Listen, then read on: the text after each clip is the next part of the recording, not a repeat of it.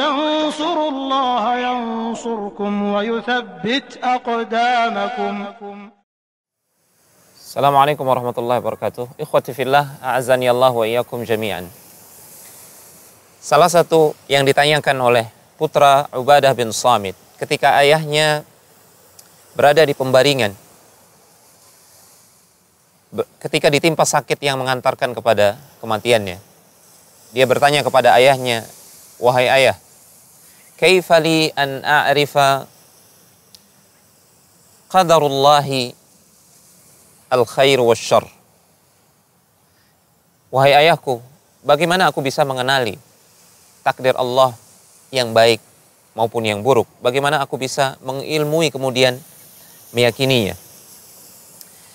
Kemudian sang ayah mengatakan anta'lama bi annama akhta'aka lam yakun liyusibak wa ma asabaka lam yakun liyukhti'ak.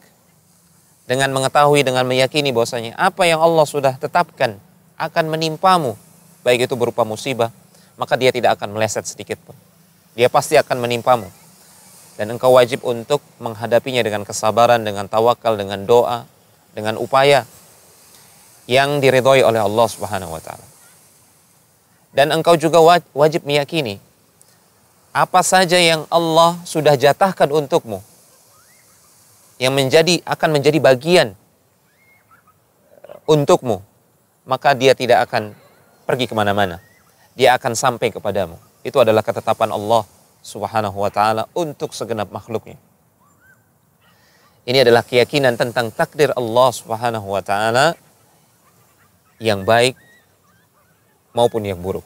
Ikhwati fillah, a'azzani Allah wa iyyakum jami'an. Allah subhanahu wa ta'ala yang berfirman dalam Al-Quran, Ma asaba min musibatin illa biiznillah Wa may yu'min billahi yahdi qalbah. Tidak ada suatu musibah pun yang menimpa kecuali itu terjadi atas izin Allah Subhanahu wa taala. Barang siapa beriman, maka Allah akan memberikan hidayah kepada hatinya. Al-Hafidz Ibnu Katsir rahimahullahu taala ketika menafsirkan ayat ini, beliau mengatakan, mereka orang-orang yang mengimani terkait apa saja yang menimpa berupa musibah, dia mengimani bahwasanya itu sudah diilmui oleh Allah Subhanahu wa taala, sudah dicatat oleh Allah, dikehendaki oleh Allah Subhanahu wa taala terjadi. Dan dia ridho dihadapi dengan kesabaran. Maka orang-orang seperti inilah yang akan diberikan oleh Allah Subhanahu wa taala tambahan hidayah ke dalam hatinya dan kita tahu hidayah adalah anugerah yang terbesar nikmat Allah yang begitu agung yang bisa mengalahkan semua musibah yang menimpa yang menimpa seorang manusia. Itu adalah ganti yang jauh lebih baik. Namun terkadang kita tidak menyadarinya. Imani akan takdir Allah Subhanahu wa taala.